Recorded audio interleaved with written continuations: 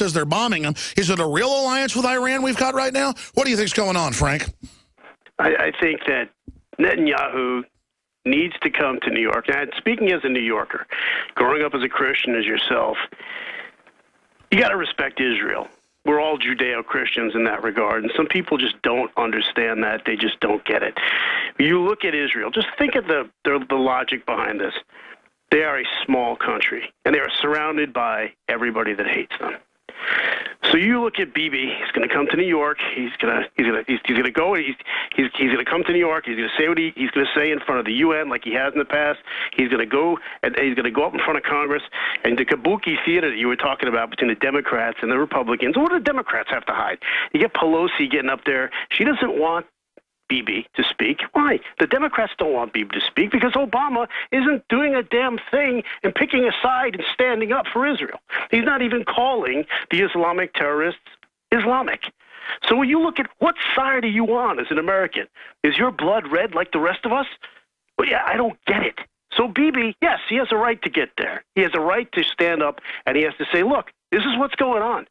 With your permission or without your permission, Israel as a sovereign nation has to stand up for itself. And if we've got to fire one off at Iran, so be it. Well, I've already said Israel's a sovereign nation, and that's what Rand Paul and everybody have said.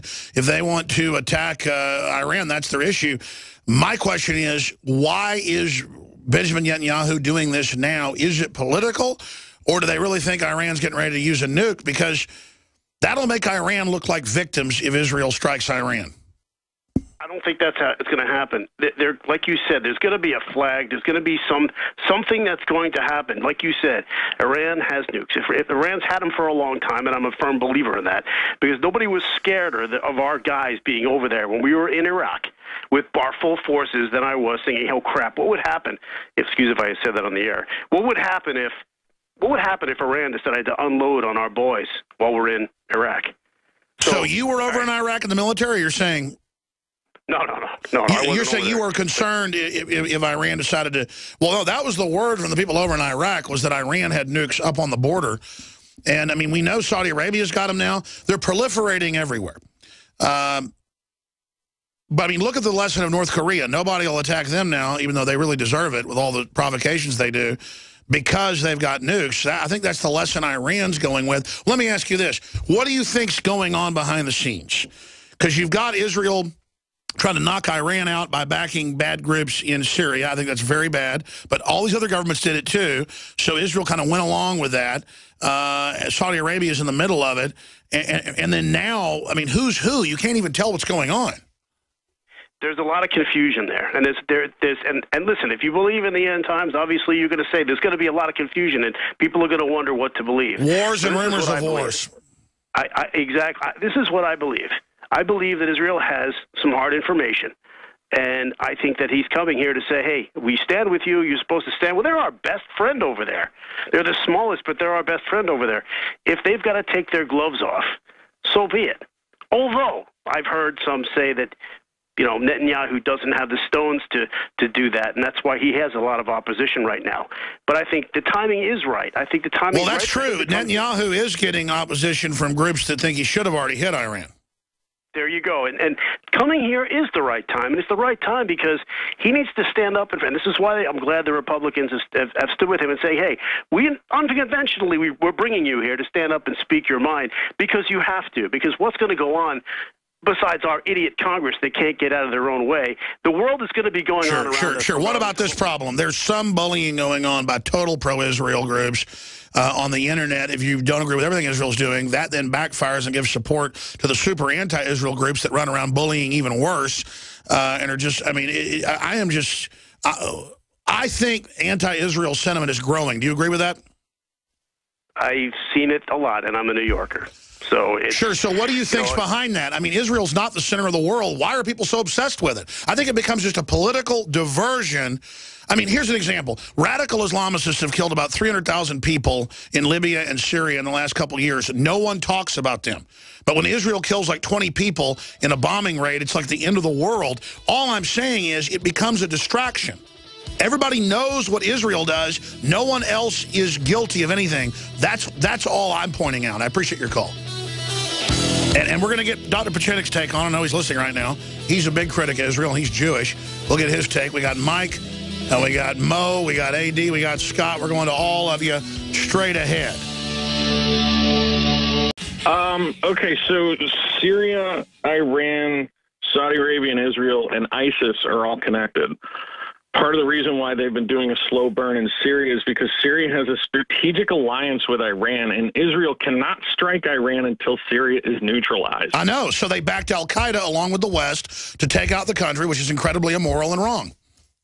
So when they sit back and they say Obama's done nothing to support Israel, that's not true. This whole grinding with ISIS in Syria has been to wear Syria down so that its ability to respond when Israel attacks Iran is negated. That's been the whole point. No, I totally time. agree, and I like how you boiled it down simply when I babbled about it for an hour. The question is, what's the background now? Uh, what's your take on the real power alliances now? Is there a real double cross of Iran? Is is Obama going to double cross Iran? Or is Israel mad or Bibi mad that Obama has double crossed them and is in an alliance with Iran? I think Israel's been terrified of the concept of Iran getting a nuclear weapon since they started suggesting they were trying to do it and that's why all of this stuff that we've watched kick off with Syria has happened. This has just been a long, slow process because we couldn't directly go in and start bombing Syria. So we had to do it through a proxy third party. So it's been a long. And so now Israel has to act like the U.S. isn't involved to give us cover when Israel does it. Correct. And I'd like you to pose that to Pieczenik because I'd like to see what his response is to that as well. Well, I wanted to war game all this out, and I think what you just said crystallized everything. Do what I can. What else do you have to say about this, Mike? Um, I, it's a mess. That's about all I can say about it. I, I see a lot of um, hubbub going on about, you know, I, I, I look at like ISIS going after Christians all of a sudden. I mean, these guys have never been they may not like Christians, but they've never been diehard. We're going to go get Rome. I mean, where did that come from? And I think that was really to spur people on here to get people in the United States and in the West incensed that, oh, we have to go get them. They've left Israel alone. Syria borders Israel. They share a border with Israel. You haven't heard anything about ISIS attacking Israel. Well, it's clear so that the leadership of ISIS is completely run by the West. As best you can tell, who do you think's quarterbacking the ISIS boys? No idea, to be honest with you. It's too mucky for me to call that one. Well, we but know. I mean, it's we know. It's it's a fact. It's it's uh, it's the Turks, NATO, the Saudi Arabians with the money, and Israel is is helping with their uh, Arab agents as well. The question is, how can Israel trust Al Qaeda to do things like this? It's I don't. I don't know whether they intend on doing that. I think they're just using them. Damascus is in between them and ISIS anyway, so they can be fairly confident that Syria will act as its own buffer to prevent ISIS from storming in. Yes. Um, I know some people that have been uh, over to Turkey recently um, for some. Uh, well, I don't want to get into why, but uh, the Turks are scared of these guys.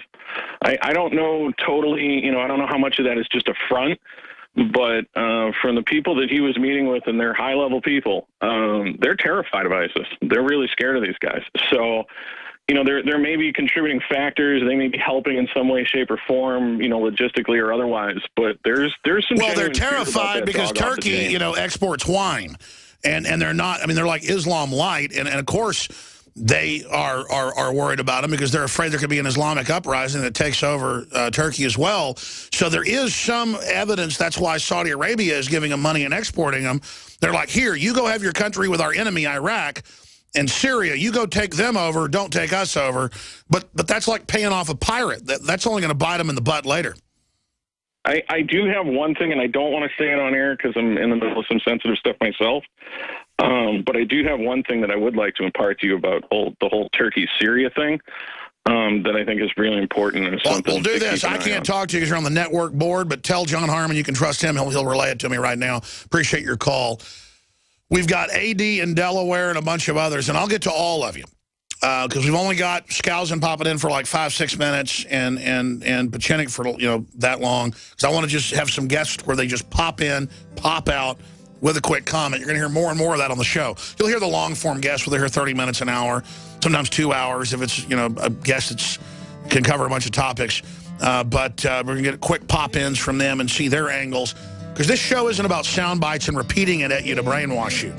It's about going through the same process we are of wargaming all the angles to really figure out what's happening in the world. Because you'll know the truth and it will set you free.